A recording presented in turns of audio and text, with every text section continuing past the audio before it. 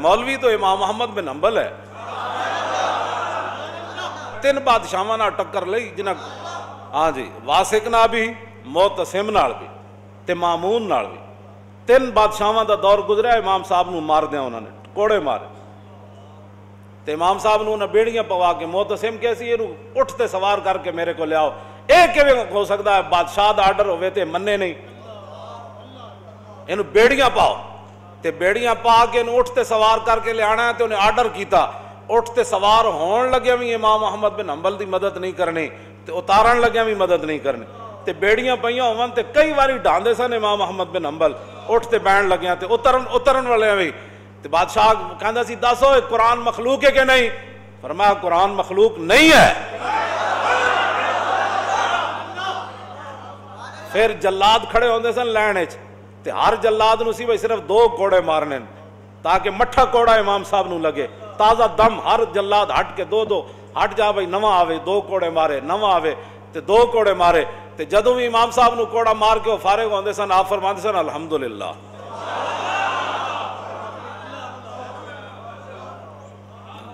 ਅਲਹਮਦੁਲਿਲਾ ਫਿਰ ਇਮਾਮ ਸਾਹਿਬ ਆਪਣੇ ਸ਼ਾਗਿਰਦਾਂ ਨੂੰ ਤੇ ਆਵਾਮ ਨੂੰ ਤਸੱਲੀ ਦੇਣ ਵਾਸਤੇ ਜਦੋਂ ਆਪ ਨੂੰ ਕੋੜੇ ਲਾ ਕੇ ਉਹ ਫਾਰਿਗ ਹੁੰਦੇ ਸਨ ਨਾ ਜਦੋਂ ਵਕਫਾ ਮਿਲਦਾ ਸੀ ਆਪ ਫਰਮਾਨ ਸਨ ਕੁੱਲਨ ਯੁਸੀਬਨਾ ਇਲਾ ਮਾ ਕਤਬ ਅੱਲਾਹੁ ਲਨਾ व मौलाना व अल्लाह फलियतवक्कल मुमिनून फरमाया मेरे हबीब तुसी ऐलान करो हरगिज कोई मुसीबत नहीं पहुंच सकती जब तक मेरे अल्लाह ने वो मेरे लिए लिख नहीं दिए बंदे को मुसीबत हरगिज नहीं पहुंच सकती मगर वही जो मेरे रब ने लिख दिया है वही हमारा मौला है और मुसलमानों को हमेशा उसी पर ही भरोसा करना है ए इमाम साहब, ए फिर ये ऐत पढ़ते सन। फिर मोहत सिम जरा सी ना, मोहतसिम।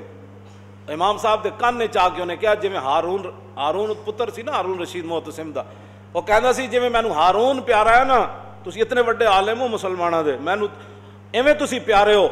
एक बारी कम अज कम कह तो दौ ना कि मैं कुरान मखलूक है। एक बारी तो कह दौ मैं कौड़े तो बंद करा देंगा आपने फरमाया, तू बादशाह अपनी जाइए, तू कुरान, हदीस, तू कोई दलील लिया एंज मैं तेरी किए गल उन्हें कहा, फिर मारो। तो मैं फिर मारो।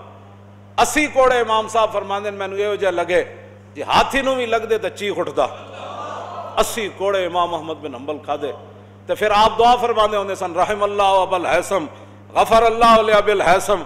या अल्लाह अबुल हैसम बख्श देवी, या अल्लाह अबुल हैसम ते रहम करी। आप दे बेटे अब्दुल्ला कहन लगे, हजूर ਪੁੱਤਰ ਮੈਂ ਵਾ ਤੁਹਾਡਾ ਇਹ ਦੁਆਵਾਂ ਕਿਹਦੇ ਵਾਸਤੇ ਕਰਨੇ ਹੋ ਦਿਹਾੜੀ ਰਾਤੀ ਫਰਮਾਓ ਪੁੱਤਰਾ ਇਹ ਬਗਦਾਦ ਦਾ ਬੜਾ ਵੱਡਾ ਡਾਕੂ ਸੀ ਲੋਹਾਰ ਜ਼ਾਤ ਦਾ ਲੋਹਾਰ ਹੈ ਤੇ ਡਾਕੂ ਬੜਾ ਵੱਡਾ ਹੈ ਜਦੋਂ ਮੈਨੂੰ ਕੋੜੇ ਮਾਰਨ ਲੈ ਜਾ ਰਹੇ ਸਨ ਨਾ ਇੱਕ ਮੌਕੇ ਉਤੇ ਤੇ ਅੱਗੋਂ ਆ ਗਿਆ ਕਹਿਣ ਲੱਗਾ ਹਜ਼ੂਰ ਮੈਂ ਚੋਰੀ ਦੀ ਖਾਤਰ 18000 ਕੋੜੇ ਖਾਦੇ ਚੰਦ ਕੋੜੇ ਖਾ ਕੇ ਹੱਕ ਨਾ ਛੋੜ ਦੇਵੇ ਉਹ ਹਾਂ ਚੰਦ ਕੋੜੇ ਖਾ ਕੇ ਹੱਕ ਨਾ ਛੋੜ ਦੇਣਾ ਕਹਿੰਦੇ ਨੇ ਉਸ ਦੀ ਇਹ ਗੱਲ ਮੈਨੂੰ ਖੜਾ ਕਰ ਗਈ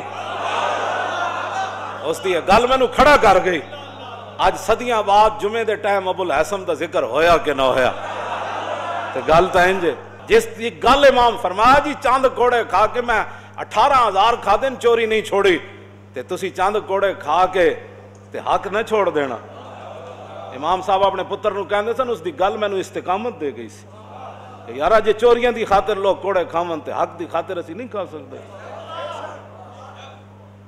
ਇਹੋ ਜਿਹਾ ਦੀਨ ਤਾਂ ਫਿਰ ਅਸੀਂ ਇਹ ਤੇ ਫਿਰ ਇਮਾਮ ਮੁਹੰਮਦ ਬਿਨ ਹੰਬਲ ਹੀ ਹੈ ਨਾ ਤਰੇ ਬਾਦਸ਼ਾਹਾਂ ਨਾਲ ਟੱਕਰ ਰਹੀ ਆਪ ਦੀ ਤਰੇ ਬਾਦਸ਼ਾਹਾਂ ਨਾਲ ਜਦੋਂ ਮੁਤਵਕਲ ਦਾ ਦੌਰ ਆਇਆ ਨਾ ਮੁਤਵਕਲ ਦਾ ਉਹਨੂੰ ਫਿਰ ਕਦਰ ਆ ਗਈ ਇਮਾਮ ਸਾਹਿਬ ਦੀ ਸਾਢੇ 7 ਲੱਖ ਹਦੀਸਾਂ ਯਾਦ ਸਨ ਇਮਾਮ ਅਹਮਦ ਬਿਨ ਹੰਬਲ ਨੂੰ ਤੇ ਸਾਢੇ 7 ਲੱਖ ਹਦੀਸਾਂ ਜਿਸ ਨੂੰ ਯਾਦ ਹੋਵਨ ਤੇ ਉੱਠ ਤੇ ਤੇ ਬਾਜ਼ਾਰ ਵਿੱਚ ਮਾਰੇ ਜਾ ਰਹੇ ਹੋਵਨ ਤੇ ਤਮਾਸ਼ਾਈ ਖੜੇ ਹੋ ਜਾਣ ਤੇ ਜਦੋਂ ਕੋੜੇ ਮਾਰ ਕੇ ਫਾਰੇ ਹੋਵਨ ਤਾਂ ਇਮਾਮ ਅਹਮਦ ਬਿਨ ਹੰਬਲ ਖੁਦ ਫਰਮਾਉਂਦੇ ਸਨ ਉੱਠ ਤੇ ਬੱਧੇ ਹੋਇਆ ਫਰਮਾਉਂਦੇ ਸਨ ਉਹ ਜਿਹੜਾ ਜਾਣਦਾ ਉਹ ਤੇ ਜਾਣਦਾ ਮੈਂ ਅਹਮਦ ਬਿਨ ਹੰਬਲ ਹਾਂ ਜਿਹੜਾ ਨਹੀਂ ਜਾਣਦਾ ਉਹ ਜਾਣ ਲਵੇ ਕਿ ਮੇਰਾ ਨਾਮ ਅਹਮਦ ਬਿਨ ਹੰਬਲ ਹੈ ਤੇ ਬਾਦਸ਼ਾਹ ਇਹ ਕਹਿੰਦਾ ਹੈ ਕਿ ਕੁਰਾਨ ਮਖਲੂਕ ਹੈ ਤੇ ਮੈਂ ਉੱਠ ਤੇ ਬੱਧੇ ਹੋਇਆ ਐਲਾਨ ਕਰ ਰਿਹਾ ਕਿ ਬਾਦਸ਼ਾਹ ਗਲਤ ਕਹਿੰਦਾ ਹੈ ਹੁਣ ਕਿਨੇ ਕੋੜੇ ਖਾਣੇ ਨੇ ਮਸੀਤਾਂ ਵਾਸਤੇ ਕਿਨੇ ਕੋੜੇ ਖਾਣੇ ਤੇ ਤਰਾਵੀਆਂ ਵਾਸਤੇ ਕਿਨੇ ਕੋੜੇ ਖਾਣੇ ਕਿਉਂ ਜੀ ਹੁਣ ਤਾਂ ਗੱਲ ਕੋਈ ਨਹੀਂ ਕਰਦਾ ਅੱਜ ਮੈਂ ਤਾਂ ਪਹਿਲੇ ਹੀ ਕਹਿੰਦਾ ਹੁੰਦਾ ਸੀ ਮੈਂ ਤਾਂ ਉਦੋਂ ਵੀ ਕਹਿੰਦਾ ਸੀ ਲੋਕ ਸਾਡੇ ਮਜ਼ਾਕ ਉਡਾਉਂਦੇ ਸਨ ਕਿ ਇਹ ਸਪੀਕਰਾਂ ਤੱਕ ਗੱਲ ਨਹੀਂ ਰਹਿਣੀ ਗੱਲ ਬੜੀ ਅੱਗੇ ਚਲੀ ਜਾਣੀ ਐ ਸਾਡੀ ਕੌਮ ਸਾਡਾ ਮਜ਼ਾਕ ਉਸ ਵੇਲੇ ਹੀ ਉਡਾਉਂਦੀ ਸੀ ਓਏ ਜੀ ਐ ਮੌਲਵੀ ਐਵੇਂ ਜਜ਼ਬਾਤੀ ਗੱਲਾਂ ਕਰਨਾ ਤੇ ਮੈਂ ਕਹਿੰਦਾ ਸੀ ਉਹ ਸਪੀਕਰਾਂ ਤੱਕ ਇਹ ਗੱਲ ਨਹੀਂ ਰਹਿਣੀ ਗੱਲ ਹਾਂ ਜੀ ਗੱਲ ਸਿੱਦੀਕ ਅਕਬਰ ਪਹਿਲੇ ਦਿਨ ਫਰਮਾ ਦਿੱਤੀ ਸੀ ਕਿਉਂ ਜੀ ਜਦੋਂ ਹਜ਼ਰਤ ਉਮਰ ਨੇ ਕਿਹਾ ਸੀ ਨਾ ਕਿ ਬਾਬਾ तल्लिफिनसवरफुक बेहम, कि जनाब है जक़ात नहीं ना दें दे। बाकी तो कलमा भी पढ़ देन, रोज़े भी रख देन, हज भी कर देन, बाबा सारे काम कर देन, नमाजा पढ़ देन। तुसी कम अज कम थोड़ा जहा हाथ हौला रखो, इन्हों ना भी लड़ना है तुसी। ए गल जो हज़रत उमर की थी फरमा उमर यह क्या बात कर रहा है तू? लो मनाउनी ये कालन लजाहत तो हम। फरमाया, जक़ात तो बड़ा आगे का मसला है, जो हजूर के ज़माने में ऊँट लाता था जक़ात का, और उसका घुटना बांधने के लिए रस्सी लाता था। अब ऊँट लाए और रस्सी ना लाए, सिद्दीक उसकी भी गर्दन काट कर अब तो किसी के पास कोई दलील भी ऐसी नहीं है तो मस्जिदें बंद हो गई। सिद्दीक अकबर देख रहे थे, अगर आज मैंने थोड़ी सी ढील दी ना तो क्यामत तक लोगों ने मेरे अमल को दलील बनाकर इस्लाम का तिया पाचा करके रख दिया। अब तो किसी के पास दलील भी कोई नहीं। तो ऐसे ऐसी जनाब टीवियों पर बैठकर ऐसी ऐसी बातें कर रहे सिद्दीक अकबर फरमा ना ना ना युन कसुद्दीन व ना हयुन कब तम्मल वाहयो? फरमाया सिद्दीक के होते हुए कोई दीन में कमी कर सकता है? हुजूर हमें मुकम्मल दीन देकर गए। बात तो इतनी है इसके अंदर और तो कोई नहीं ये मेरे सपुर तो दीन नहीं है। क्यों जी? हाँ दीन का वारिस तो वो खुद मालिक है उसने दीन दिया दीन के रसूलुल्लाह में दीन देकर गए फिर हमारे बुज़ुर्गों ने मुतवक्किल ने फिर एक लाख रुपया भेजा कि आपके साथ बड़ा जुल्म हुआ। क्यों जी? बड़ा जुल्म हुआ आपके साथ। तीन बादशाहों ने जुल्म किए। हुजूर, ये मैं आपका कायल हूँ। मैं आपके बड़ा कदरदान हूँ। आपके साथ बड़ा ही जुल्म हुआ। ये लाख रुपया नजराना कबूल कर लें। और जिसको भेजा था, उसको कहा कि अगर इमाम साहब कबूल न करे ना तो उनको अर्ज़ करना कि आप पैसे ले लें। और आपको ज़रूरत नहीं है तो गरीबों को दे देना। जब इमाम साहब के पास सुनो, ये थे वो ओलमा जिन पर हुजूर ने नाज फरमाया। जिनके जिम्मे हजूर अपना दीन छोड़कर सारी दुनिया से तशरीफ़ ले गए। ये थे वो ओलमा ये थे वो ओलमा जदों बादशाह लख रुपए आया ना आप रो पड़े। आपने फरमाया, या अल्लाह, पहले तो मेरे दीन का इम्तिहान होया हूँ मेरी दुनिया का इम्तिहान होने लगा।